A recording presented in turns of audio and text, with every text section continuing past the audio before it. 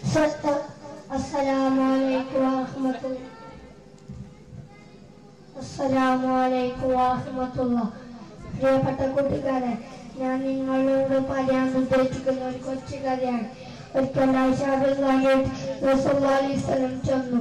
അവിടെ ഐഷാബിണ്ടായിരുന്നില്ല ഞാൻ ചോദ്യം കഥ വീട്ടിന്റെ അകത്ത് കയറി ഉണ്ടായ സ്വാമികളെല്ലാം തന്റെ വീട്ടിൽ വന്നു അപ്പോൾ നസല്ലാസ്വലം കണ്ണൊന്നും കയറി നസല്ലാസ്വലം മൂത്തുള്ള വേറ്റുകൊണ്ട് കുപ്പിലാക്കുന്നുണ്ട് കുപ്പി വേപ്പ് വെള്ളം വെച്ച് നെറ്റിയുണ്ട് ആരാണ്? ആയിഷ പറഞ്ഞു ഞാനാണ്.